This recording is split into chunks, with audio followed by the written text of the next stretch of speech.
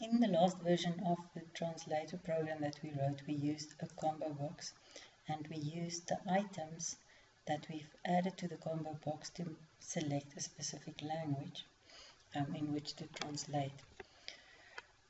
We're going to do the same now. The program is going to work exactly the same, but the way we implement it is going to change. We're now going to use, instead of using the actual text, the, the language text like Zulu or Afrikaans, we're going to use the index of that language in the list. So if we look at our items property, we see Zulu is the first one, Spanish is the second one, and Afrikaans is the third one. So the combo box has a selected index property, which gives you the, the number associated with the currently selected item. So if a user selects Zulu, the item, the selected index property will be zero. When they um, select Spanish, it will be one. When they select Afrikaans, it will be two. So it starts counting at zero. Okay. So how this changes our program is we don't check for the text, we check, check for the selected index. And if that is zero, it's the same as saying, oh, I just mistyped here. So the combo box is selected index property. If it is zero, it means this is Zulu. Okay. If the select uh, selected index property is equal to 1 then it is Spanish. So I'm just putting this in as comments. And if the selected index is 2 then it is Afrikaans. Note that we don't put that in uh, quotes because the selected index property is an integer property. So now we have a number there. Okay. So what we've done is instead of checking for the text of the selected um, item in the list, we check for its index, in other words, its number. So if we run the program now, it's going to work exactly the same. Why did I do this? It is because I actually want to rewrite this whole program using a switch statement. A switch statement gives us another way to handle such a multiple selection if statement. So here we have a multiple selection if in the sense that we have multiple languages that we have to choose between.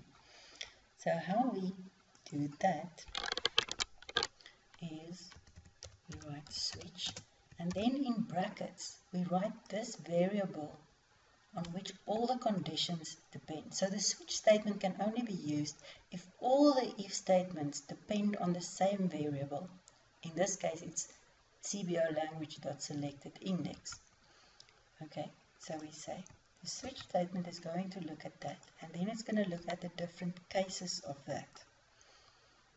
So we're going to remove if statement. Okay, the switch, the whole switch statement is enclosed in brackets. So we must just go and everything here in brackets. Why is it not happy?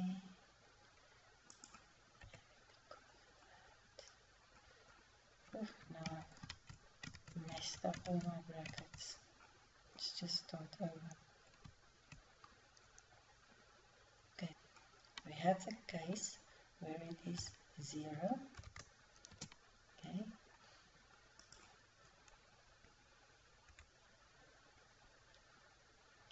Right and then we have the case where it is 1 and we will remove this. I'll go through it slowly with you just now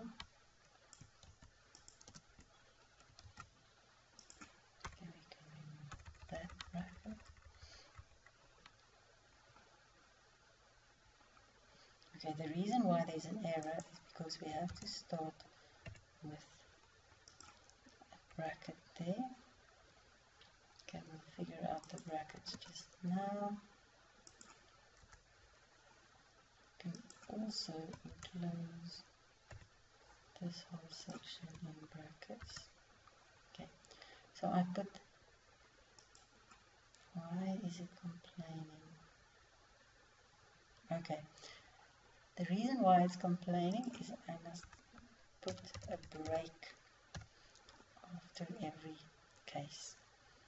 Okay, so here our next case is where we want to translate in Spanish and I'm going to say break over there. Mm. Break is in the wrong place.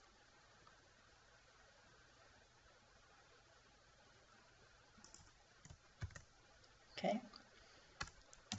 See how my brackets line up the moment I have them correctly. Okay. Over here I'm going to take out this and now last case is case 2 which is Afrikaans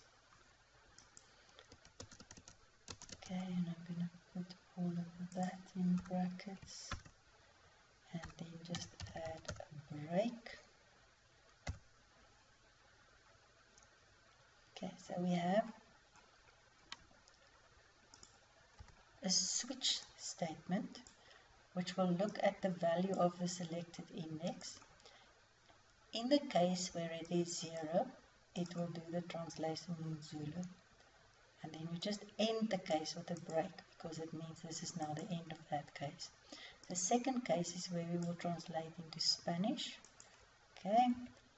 Then we have the if statement there that translates into Spanish. Okay, we end it with a break. And the last case is case 2. This is now where the selected index is 2. It's Afrikaans.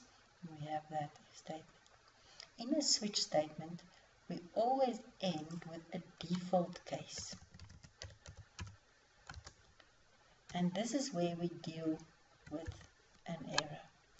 So if for some reason um, something has gone wrong, we will have a message box or something that says um, something is not right. Okay, so I am not sure. Just to that. Okay. Okay, again it says control cannot fall out of switch on final case it's meet because I didn't include the break. So every case must always have a break at the end. Right, so the basic format of a switch statement is that you have the word switch with the thing that you want to constitute the different cases. And then you have, okay, open closing brackets obviously, and then you have each case, okay, and below each case you have the code that belongs to that case. After the last case you have a default case. So if none of the previous cases held, it will come here and it will do whatever you want it to do. So I just put in a simple message, something is not right. But let's see if this works. Okay, if I type warm. Okay, I'm now deliberately not going to select anything and click on translate. So this is that default case. Something is not right. Because I didn't select anything, the index, the selected index is not 0, 1 or 2. So it's something is not right. Okay. If I do go and select something and I click on translate, then I get the right word. And so on. Right, so in the lecture, in the lecture slides, you will also see an example of a simple switch statement. This was just um, an illustration of how you can translate a multiple selection if statement into a, a switch statement